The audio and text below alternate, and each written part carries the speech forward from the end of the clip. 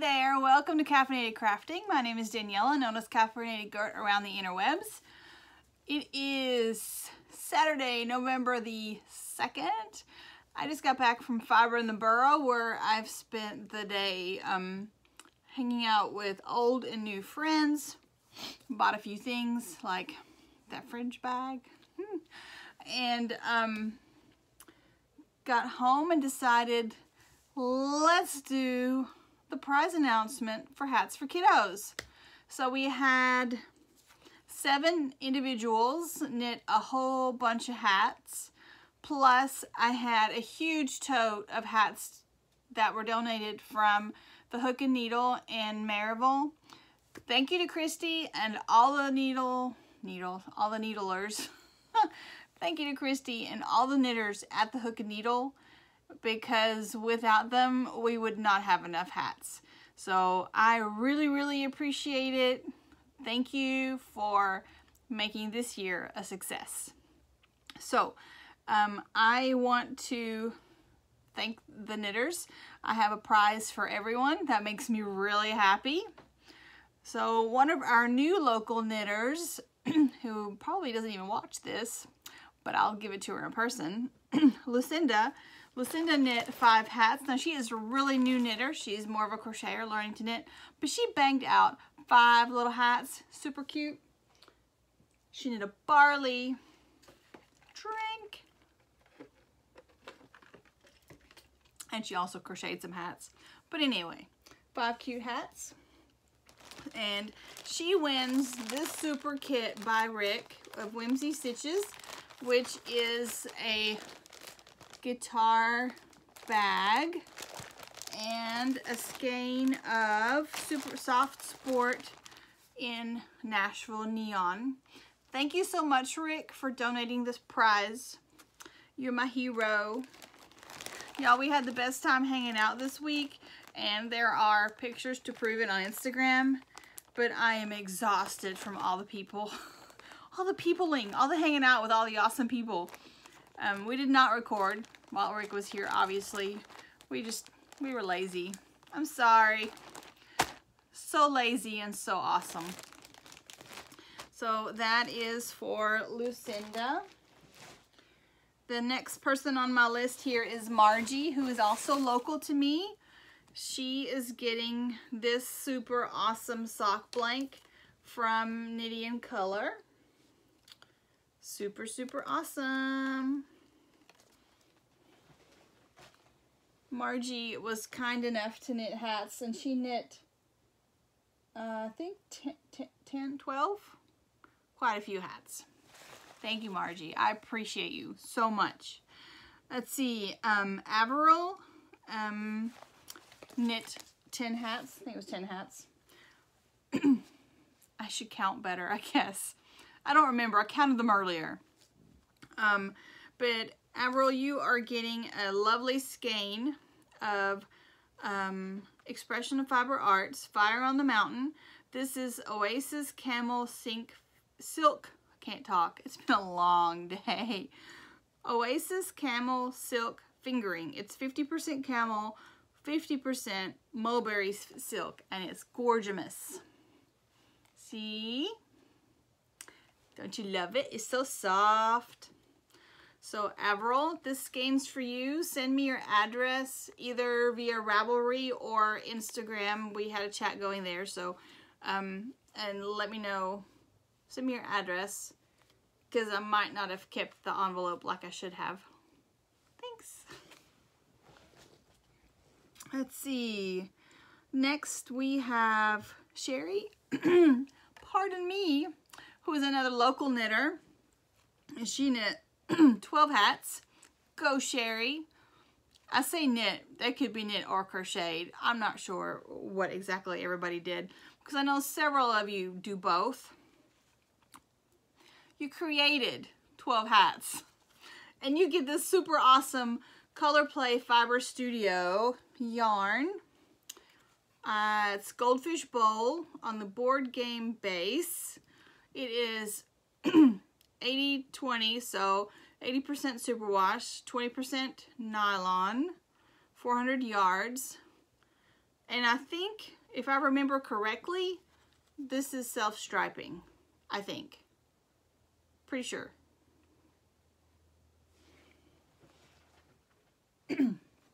Let's see. Speaking of color play fibers, no, I'll say that one last. Say that one for last. I'm going to save the best for last. Um, Cheryl, who is, oh gosh, Cheryl, who are you?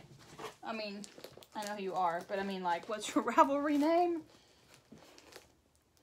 Uh, just Star. Cheryl, just Star.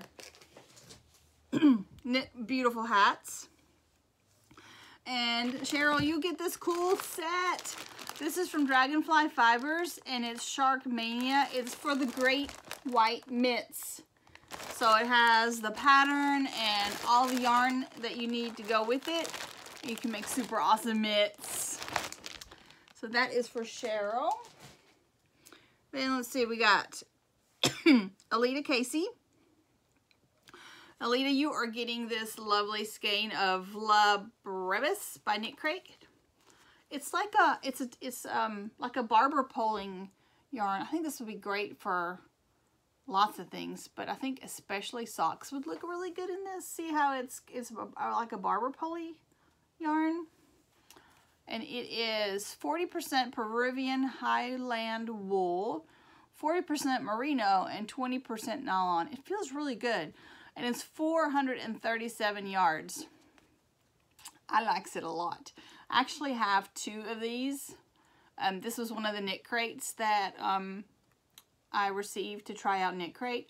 And I kept one and I thought I'd share one because I'm pretty sure I'm going to knit socks out of mine. So I don't really need two skeins. So I thought I would share the wealth. and last, but most certainly not least, Valerie, you are a rock star. You win this, the shift that I knit out of hand spun. It's a combination of hand spun and plucky knitter. And also you get these Hobbledehoy batlings. so, sorry, that was too much fiber and too much talking. Batlings, you get to spin a little crack. Yay! and you know, can't get these anymore, so I hope you enjoy the crack. Make it last. Spin it slow. I really hope you enjoy wearing this. I think it'll look beautiful on you, and I'm, I'm, um, I hope you enjoy it. I hope you it keeps you warm up there in Kentucky. I have that. All right, so I need to make sure I don't lose my little card here because I have everyone's name and what goes with what.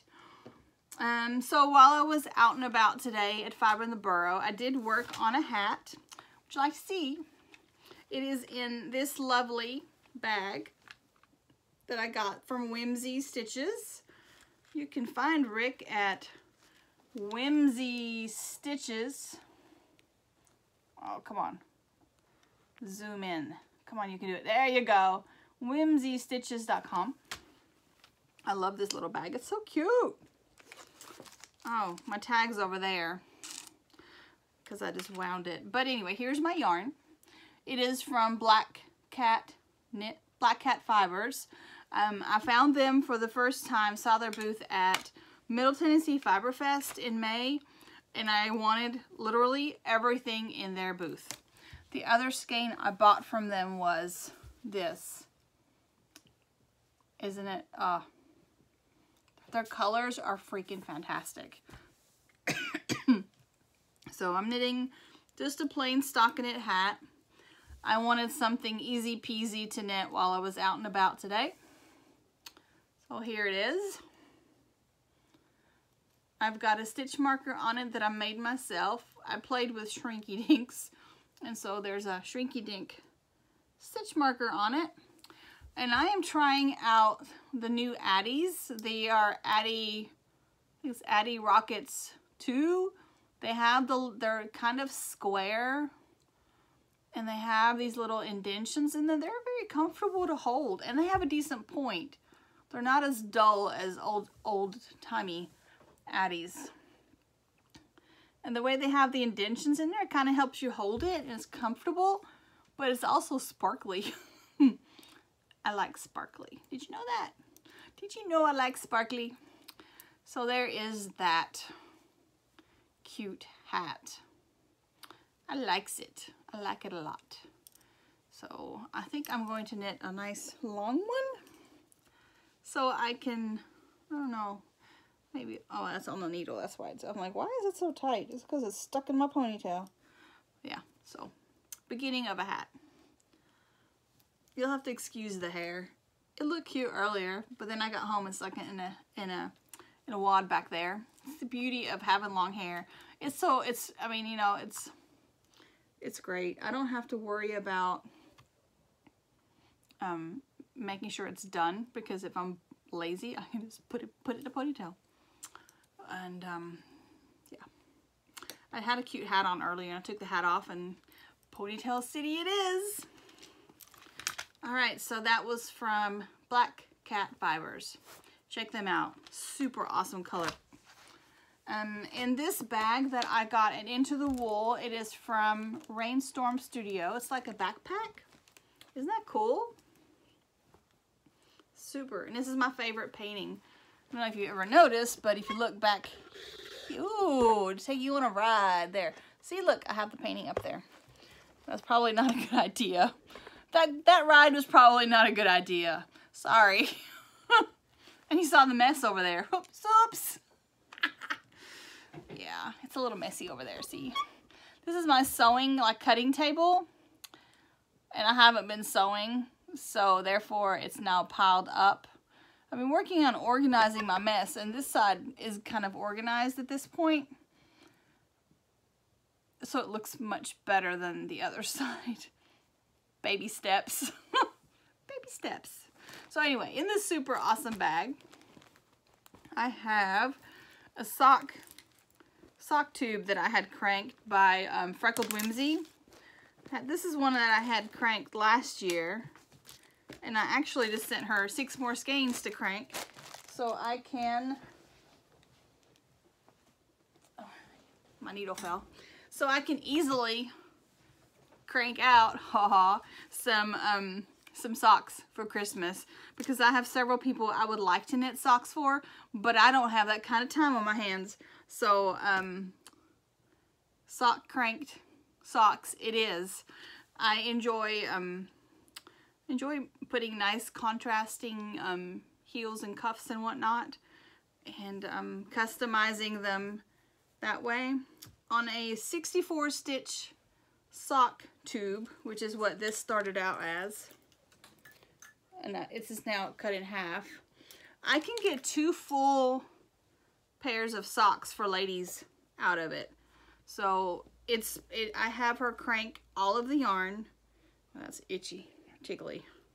I have her crank all of the yarn in the tube in the on in the skein, and um, then I use contrasting cuffs, heels, and toes, which gives me two full full on pairs of socks, which is freaking fantastic.